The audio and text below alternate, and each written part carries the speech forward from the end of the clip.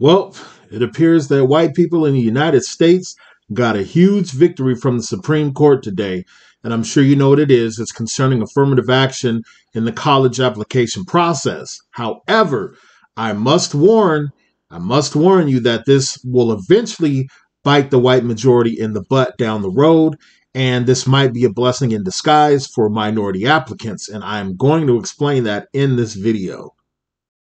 So if you're a part of the white majority and you're watching this video, you can go ahead and open up a cold one, drink one down, celebrate. You guys got a big victory today. But like I said, um, this might come back to haunt the white majority probably 20 to 25 years down the road, and I'm going to explain that. Now, my disclaimer I am an idiot, and I'm an idiot in law school. And everything and anything that I talk about in this video is of my own opinion, and I do not speak for any government entity in whole or in part. Why? Because I'm an idiot. Yeah, kids, you got that right. Now, affirmative action as a whole, it really gets a bad rap and a misleading rap because black people are considered to be the face of affirmative action, but people don't understand that the facts do not support that, when in fact it is white women that are the biggest beneficiaries from affirmative action. Now, I'm not going to dive deep into that. You can go do your research, get on Google, get on YouTube, and you can find that for yourself. Now, in the same way that affirmative action is misleading, it's the same thing when it comes to food stamps. Black people, they're the face, or I should say, we are the face of the food stamp programs, government handouts, and all of that when in fact the numbers show that the biggest beneficiary or the most people that are on food stamps or government assistance it is white people the white majority. So hopefully you can kind of understand uh, what i'm saying in that. Now for the purposes of this video i'm going to talk about affirmative action as a whole i'm not going to break down and dissect every uh, minute detail of the Supreme Court case because I am not an attorney yet, and that's not you know what I'm going to do in this video. But I'm just going to talk about affirmative action as a whole because I do believe that this case is going to have a ripple effect for other things that are connected or uh, concern affirmative action. Now, as you guys know, I work um, at a place that's kind of considered the Mississippi of the West. And so I've had, you know, several different debates with people, um, basically white coworkers that, um, and some Hispanics that, um, on the subject of affirmative action. And in my opinion, they have a fundamental misunderstanding about affirmative action. Affirmative action, in their opinion, means that somebody can just roll out of bed and they can decide that morning that they want to be a brain surgeon. So all they have to do is just get out of bed, apply for a brain surgeon job. And because they're black or because they're a female or a minority, they're going to get the job. But that's not true. Affirmative action does not support people that are not qualified. In order to benefit from affirmative action, you have to meet all of the standards. You have to meet all of the criteria that is there. You know what I'm saying? It is not some golden Willy Wonka Santa's little helper ticket where you know you can truly be unqualified, you don't meet any of the conditions and you somehow get the job. But unfortunately, the narrative that is spread throughout the country is affirmative action supports and upholds people that are not qualified, and that is a ball-headed lie. Now, I know on my job, you know, issues related to affirmative action, there it, it's very controversial because you'll have uh, when black people um, get jobs or promotions, which it doesn't happen too often on my job, but when it does happen, it seems like the go-to um, responses, oh, they must have filed, or oh, they must have filed an EEO complaint, or they filed on their supervisor, and that's how they got the job. You know, it's never that, you know, the black staff member or whatever, um, they were competent, qualified, and capable. It's just they got it because of the fruits of their labor related to filing paperwork. Now, I know for one instance, right, uh, there's a brother on the job. He just recently got a true promotion. Now, several months ago, um, he got a uh, lateral promotion, which was a decent situation for him, but he got that a few months ago. So now, a few weeks ago, he just got a, uh, uh, actual true promotion with more money. And when I say they was hating, they was hating on that brother. Now this dude, now what they don't understand is this brother, he is highly educated. I mean, I'm not going to go into the specifics, you know, for his privacy, but this dude is highly educated. Well, it appears He has all different types of certifications. Um, he has a bachelor's degree, a master's degree, and I want to say that he might even be getting ready to start his doctorate, or or he might almost be done with it. So this brother, he is not a slacker by no. This dude is highly educated.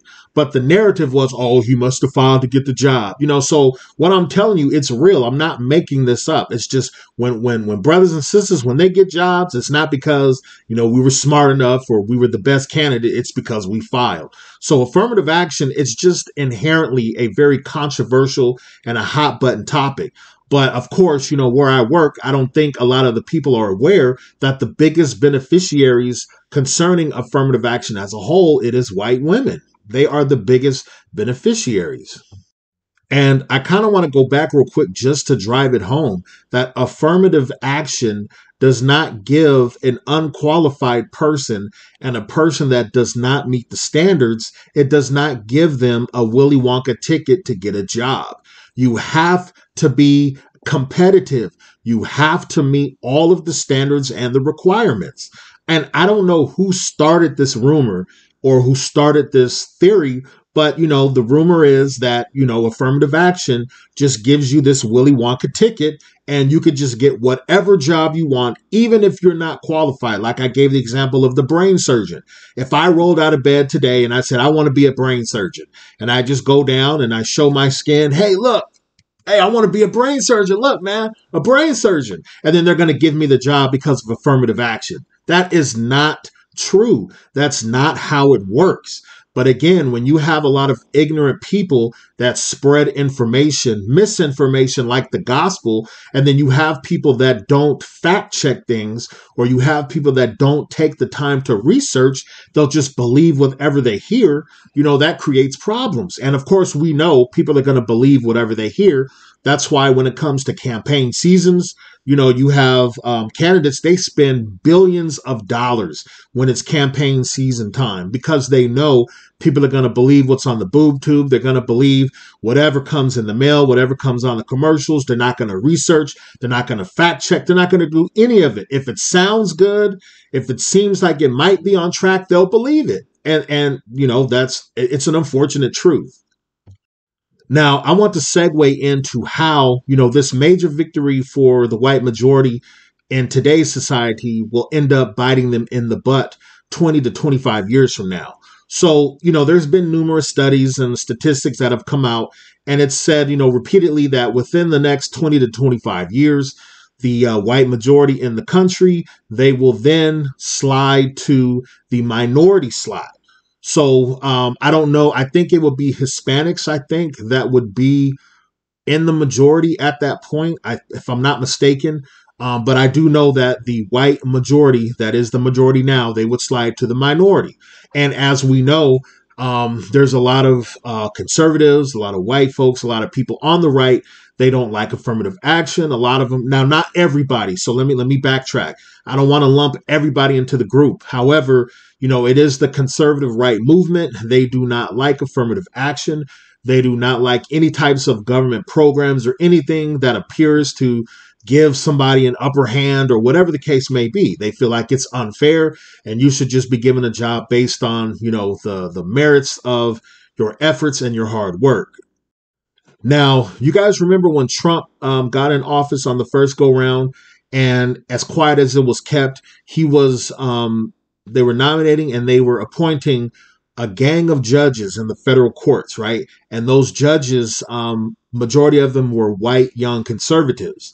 Now, and and not only that, but Trump, I think he appointed three conservative Supreme Court justices. Now, the theory behind that, and it all ties together with what I'm talking about in this video. So, the theory behind Trump, you know, appointing all of these white conservative young judges, as well as the Supreme Court um, conservatives, is to secure the power for the future. Because, as I said previously, that it is estimated in the next 20 to 25 years that the white majority is going to slide to the minority role.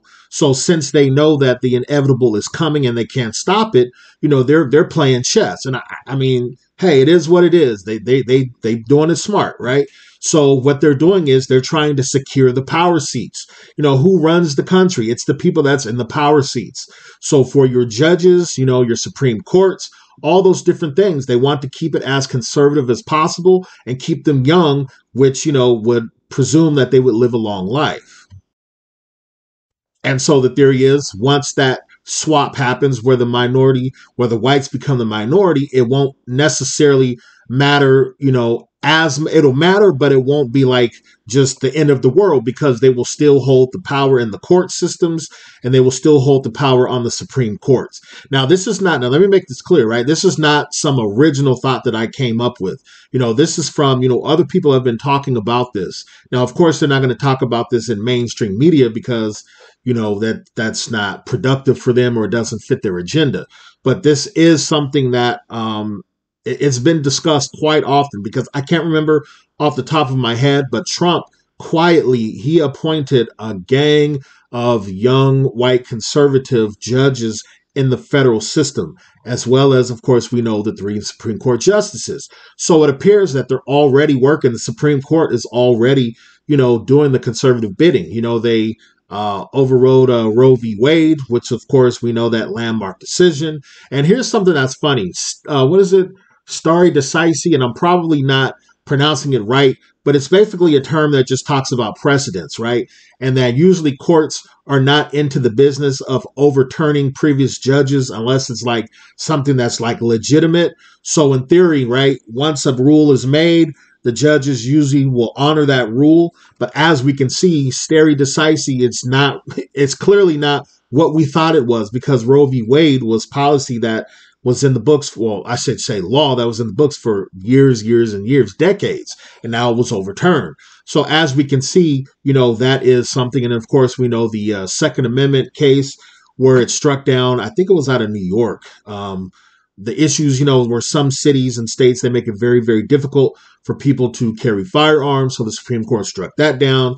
Then, of course, today they did affirmative action. So you can kind of see that there might be some truth to that theory because there are a lot of conservative things that are um, finally coming to pass, or now they're finally passing things that are supporting that.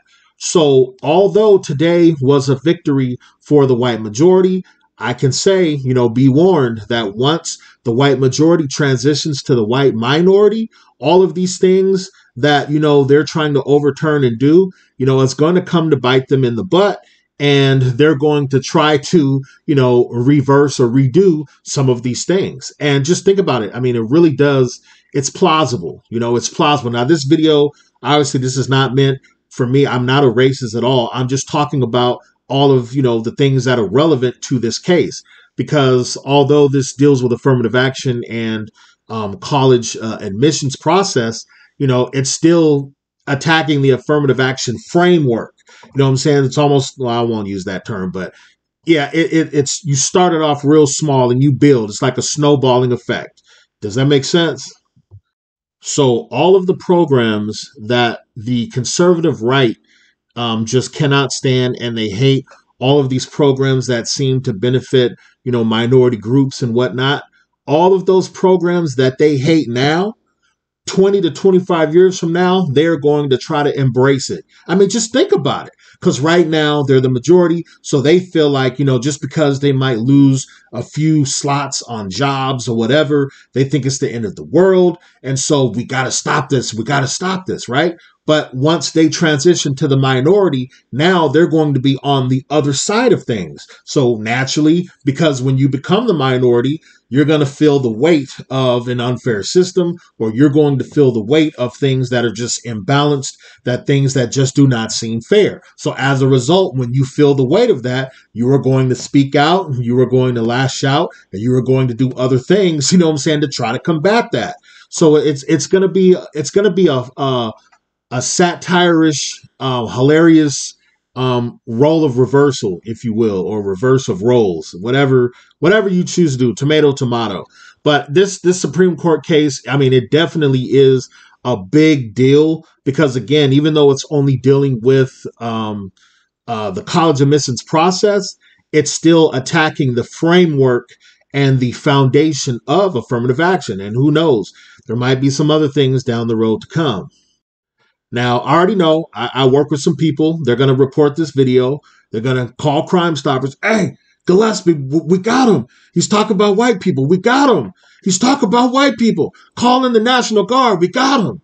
But no, you don't have me. This is something that is being talked about throughout the country. I mean, we're dealing with, you know, uh, tenants involving affirmative action in the college admissions process and how that's going to have ripple effects throughout the country. And then I believe there was another major victory too for, um, now I don't think this really has anything to do with race. This is more about religion, where I think a man, um, I think he was working for the Postal Service and they wanted him to work on Sundays. And he was like, I don't want to work on Sundays. It's the Lord's day. And so he fought and he fought and he eventually won. Um, I don't, again, I don't know the intricate details of the case, so I can't really comment too much on it. I want to say he even lost his job at some point, but that was a major victory. But all of these different Supreme Court cases, they're going to have, um, it's going to cause a ripple effect throughout the country. And no matter how you try, there's no way to talk about affirmative action without talking about race and other sensitive topics that some people don't like to talk about. So, although you might try to call Crime Stoppers and you might try to paint me as um, a racist or whatever your agenda is, you're just wasting your time. The stuff that I'm talking about, it is legitimate stuff that was hashed out in the courts. And again, even though this deals with the college admissions process, you you already know that it, it's setting the foundation for other things as well that's going to unravel. All right, yeah. So I just pulled it up on my phone real quick. So it said the U.S. Supreme Court unanimously handed a major victory to religious groups by greatly expanding how far employers must go to accommodate the religious views of their employees. And I remember I was listening to it on the radio this morning, and prior to whatever um, the standard they do have now, they only had to use a de minimis test which I'm not a lawyer, I'm not providing legal advice or legal analysis, but prior to this major victory, um, employers did not have a high bar to show that you know a person's religious beliefs conflicted with or you know cause some type of undue burden or undue harm to the employer but now with this case the bar has been set substantially higher so of course obviously that's good for a person that has you know, deeply held religious beliefs, and then that makes it hard for, you know, employers. So, like I said, these Supreme Court cases, they're going to have um, some deep ramifications, and it's going to cause ripple effects throughout the country. But like I said, although um, the white majority received a huge victory today, I would say you're only going to have a little bit of time to celebrate that victory because once you slide to the minority role, if it you know if the estimates are true within 20 to 25 years now you're going to be in the minority role and now you're going to feel the weight of what you're going to feel is an unfair system or a rigged system and then you'll start talking about systemic racism all those different things. And that's just the irony of all of this. And again this is just having a healthy dialogue. You know what i'm saying? Whenever black folks talk about systemic racism or they talk about issues that are systemic to hold black folks down, all of those different things. Once the 20 to 25 years come and the minority is the white uh, majority that's now, they're going to start saying the same things. Now, I'm not advocating for, oh yeah, let's make them pay. And I'm not for that. You know what I'm saying? Everybody should have an equal shot to be able to pursue, you know, their lives, to pursue their professions, whatever they want to do. You know, everybody should have an equal opportunity. Now, I'm not saying that um, you should have a leg up or you should have an advantage. All I'm saying is the playing field should be fair for everybody. Now, if it's fair for everybody, then obviously there's going to be some winners and there's going to be some losers. You can't stop that. That's just, that's life. However, you know, the color of your skin or your um, religious affiliation or whatever that is, it should not come into effect when you know what I'm saying, you're with how you're being treated, if that makes sense. But I do think that is ironic because I could see it now. 20, 30 years from now, you're going to have uh, the white folks that they're going to start talking about systemic racism. They're going to start talking about feeling the weight of an unfair system. Now, on the flip side, now that'll also be dependent on if the courts change because like i said right now now i don't know how many justices Biden has been appointing things to try to reverse some of that. I have no idea. But I do know that some of the rhetoric that is being used now by minorities, you know, come 20, 30 years from now, white folks are going to be using those same talking points and those same buzzwords and all of that stuff, man. So, you know, the irony of it all. But I'm going to wrap this up. I'm not trying to go too long, but whenever you get a chance, um, check out some videos on, you know, the biggest beneficiaries concerning affirmative employment or concerning all of these different things. And you're going to be pleasantly surprised. Because I can be honest and say, I didn't even know until a few years ago that white women and um, I can't remember, I can't even remember the source. It was several different sources that I was, you know, researching. But I can admit myself, I didn't even know that um, white women were the uh, biggest uh, beneficiaries as it related to the affirmative action framework.